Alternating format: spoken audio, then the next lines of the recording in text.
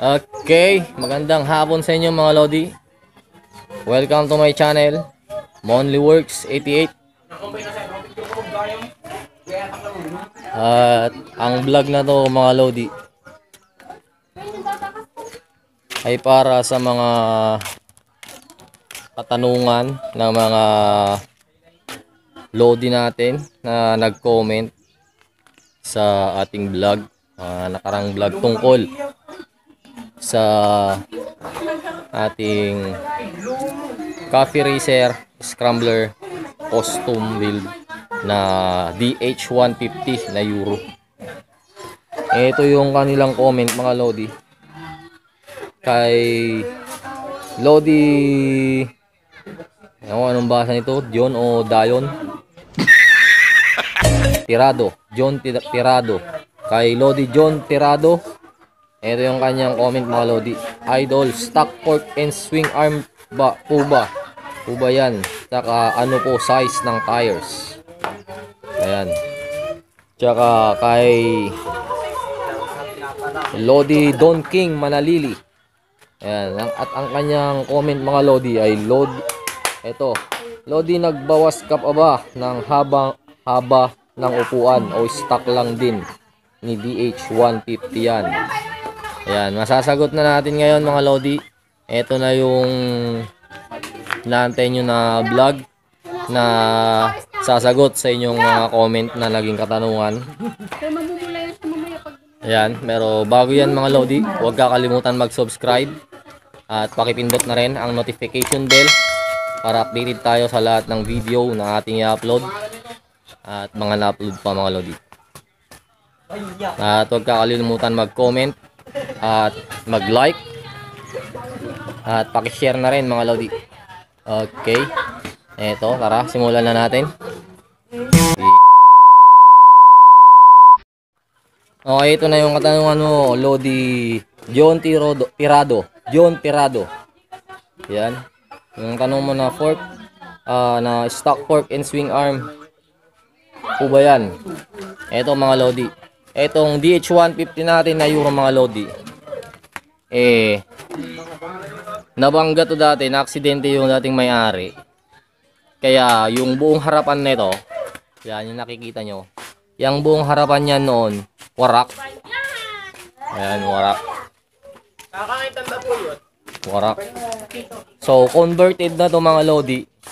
Yung buong harap nito yung fork as yung fork assembly niya ay pang TMX 155 mga lodi Kasama na pati tipos. Yan. Hub. Ayan. Yan yung mga lodi. Yan. Yan. Yung kanyang butterfly. Buo na yan mga lodi. Yan. Buo na yan yung kanyang port. Hanggang hub.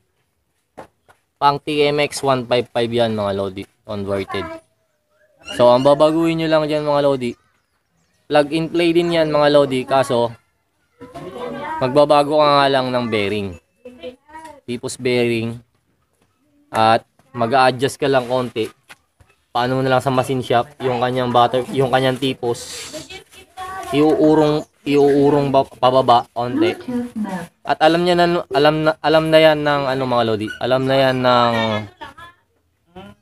gumagawa sa machine shop. Yan kasi mas maigsi yung housing ng tipos. Yan, mas maigsi ito kumpara mo sa TMX 155. Pero alam na yan nung magmamasin shop mga lodi. Alam na niya yan. Yan. Yan. So sana mga lodi eh nakatulong itong vlog na, vlog na to sa'yo. Lodi John Tirado.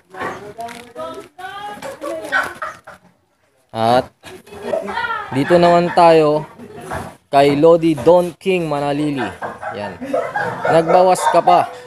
Nagbawas ka pa ba ng haba ng upuan o stock lang din ni DH yan? Ay hindi. Hindi pa pala yung swing arm mga lo yung swing arm Lodi John Tirado yung swing arm niya is stock ni DH150. Ayan.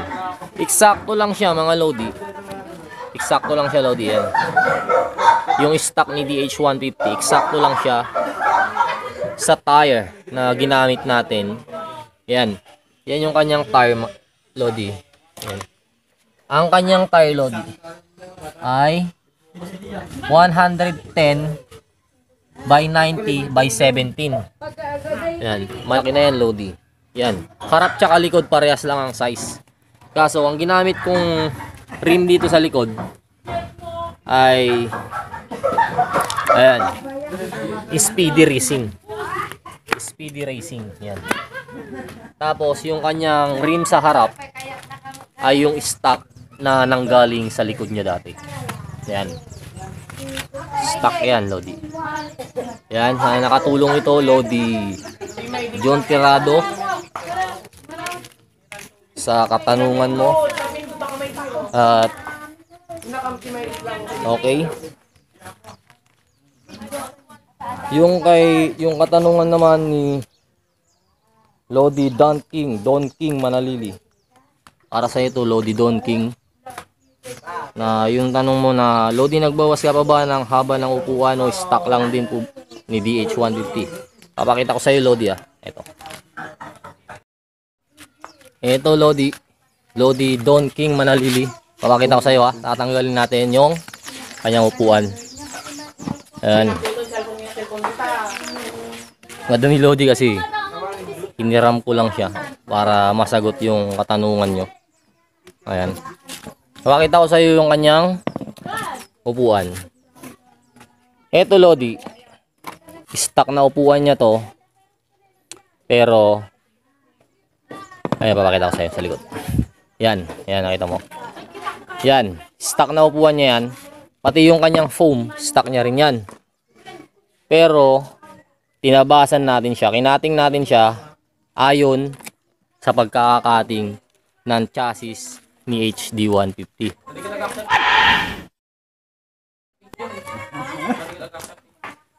Ay ni DH pala, HD. Yung yung chassis ni DH 150. Yan, HD ako ng HD dito, parang HD3 ah. DH 150 euro yan. Ayun na natin. oh. Yan. Ito kasi dati Lodi, yung chassis ni DH150 ay mahaba to. Ito, mahaba yan. Hanggang dito. Dito yan. Hanggang dyan. Ganyan. Kasi yung kanyang kargadera. Pero ito, hanggang dito lang yun, yung pagdudugtungan. Ang ginawa natin to, Lodi, tinabas natin siya dito. Ayan.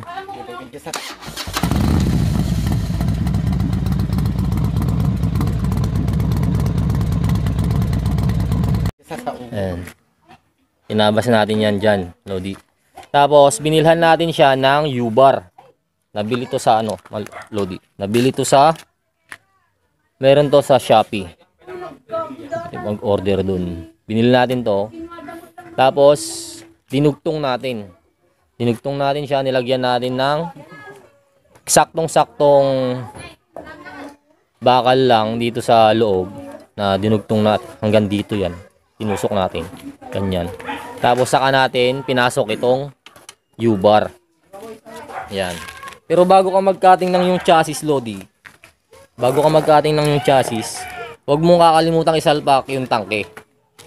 Yan yung tangke niya. Kasi diyan ka mag babase diyan ka magbi-base kung gaano kahaba o kaiksi yung upuan na ilalagay mo. Kasi pag nagbawas ka dyan at wala yung tangke, hindi mo na malalaman yan kapag uh, pinatong mo na yung upuan dyan. Eh sobrang iksi na, sobrang iksi na pala. Ayan. Lala- Huwag mo kakalimutan ilagay yung tangke. Saka ka magtabas dito. Para malaman mo kung pang 2-seater pa rin. Pang 2-seater ka pa rin siya, Lodi. Kasi, ayan, pero maiksi siya, maiksi maiksi dun sa stock niya. Parang pang one seater lang siya tignan. Kasi nga, yung ginawa natin, ayan, is parang Parang camel type pero pang ano siya, para pang coffee racer siya. Kasi ginaya nga natin siya, ginaya nga natin siya sa ano, sa coffee racer. Ayan. Nung nataba, nung nakating na natin yung chassis niya, Lodi. Ayan. Saka natin ilalapat yung kanyang upuan, yung plastic niya, yung fiber. Ayan. Para magpantay siya dito. Ayan. Dito.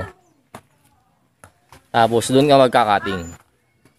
Pag nakating mo na yung kanyang plastic dito sa lalim, alam mo na kung ano ang sukat na ikakating mo dun sa foam. Yun. Tapos pag tinating mo siya mga lodi, dyan sa ano, kailangan pantay rin yung kanyang tangke sa kanyang upuan. Itong line na to, lodi. Kasi, ayan nga ang line na sinusunod pagka nag-customize ka ng coffee racer. Ayan, lodi. Lodi Don King Manalili. Sana nakatulong ang vlog na to sa yung katanungan kayong dalawa ni Lodi John Tirado. Ayan. At kung may ibang katanungan pa kayo, mga Lodi, ay panoorin nyo lang yung ating Coffee Racer 1 Part 1 hanggang Coffee Racer 5 at yung kung magkano ang nagastos ko sa pag-build ng Coffee Racer Scrambler. Nandun. At ilalagay ko din dito sa baba sa description para malaman yung lahat ng detalye. Ayan.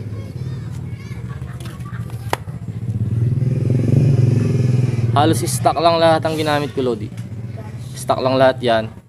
Ah, so, kinustomize lang natin siya ng pang coffee racer. Ayan.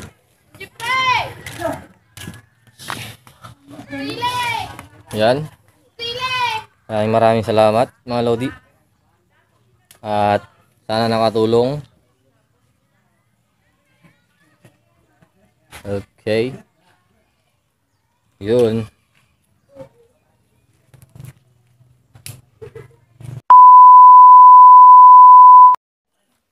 Yun, magandang hapon sa inyo mga Lodi. At ayun nga, natapos na natin ang vlog na to.